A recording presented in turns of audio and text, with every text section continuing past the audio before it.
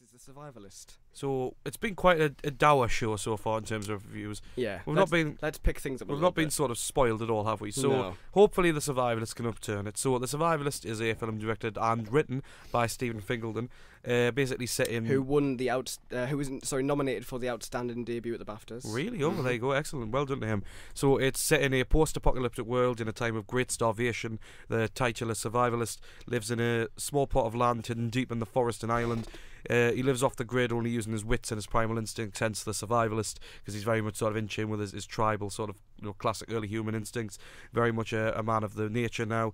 Uh, a starving woman and a girl that she says is his her daughter come for refuge, initi- initially seeking trade and, and like board and bed. However, they might not trust him, and he accepts them into their life. However, you know, it might not go on because obviously in this new world, it's all about tension and what's going to happen, and if you can really trust who people are in this new world. I was not expecting this film to be so quiet. Hmm.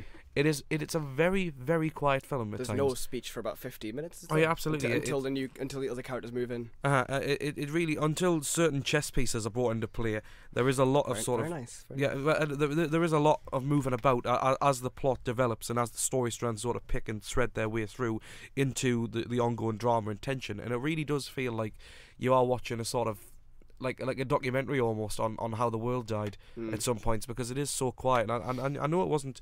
I know I knew it wasn't going to be massively dialogue heavy, but th- there are so many moments of breath where you can really sort of muse on, on, on, on this new world and just how horribly dire it is. I know I know I know a big point that you make, which I'll let you get. It was about the the sort of comparisons to what Hollywood thinks a post-apocalypse would look like yeah. in terms of young adult fiction and certain things like that.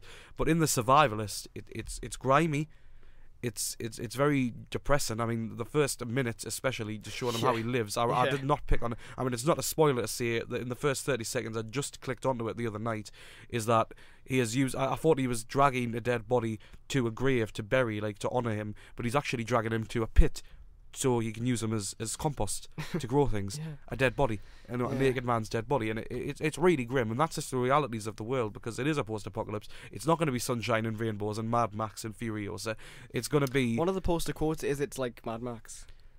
It's not though, is it? It's not. it- it's like, it's like Yeah. Mad Max, but like in Yeah. this A sort of scenario. post-apocalypse is going to Yeah. be like The Last of Us. It's going to be about trusting people and fighting for the last Hmm. supplies and, and a brutal, brutal world, and that's what the Survivalist captures. And it's a really, really tense.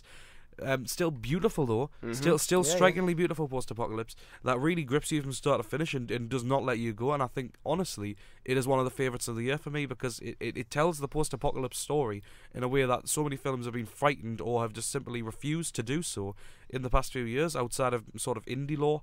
And I really, I really think it's a it's a great accomplishment for Stephen Fingleton who, who wrote and directed this. Mm. And he, if he has won that BAFTA, as you see it, thoroughly Then nomin- deserved. nominated. Nominated, but yeah, thoroughly deserved Yeah. because it is a, a very intense, surprisingly beautiful, and, and just a really gripping watch.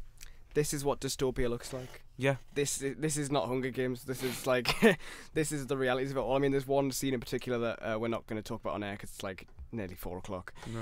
It's very it's very graphic and uh, and Mm. Very uneasy, and it made me very very squeamish. I uh, we see a lot of stuff, and I've kind of been desensitized to Mm. this kind of graphic activity, but it involves Mia Goth, who was uh, in um, for Maniac, I Yeah, believe. yeah, Yeah. Um, Well, it- and uh, she and she's a very promising young um, actress, British, and yeah, th- this this scene in question is kind of it it sets the whole tone. You kind of get the idea. it's one of those scenes where it would have its very own sort of description Yeah. on the title card. I mean, we watched The it on wo- the- video on yeah. demand on BFI Player, so we didn't see the title card. But the worst bit about it is the juxtaposition of the, the you know the, it cuts between this part and then a, a rabbit getting caught, yeah, and it's yeah it, yeah. It, But it- it's, it's- it's very uneasy. But uh, the the whole the, the film as a whole is very dark and very quiet, but it's got this sort of quiet beauty about it, which I, I agree. Yeah. uncompromisingly grim, but still an intense beauty, which it should be. It is excellent. It, It's honestly a great, great film. Uh, another stupid question: Is this your film of the week?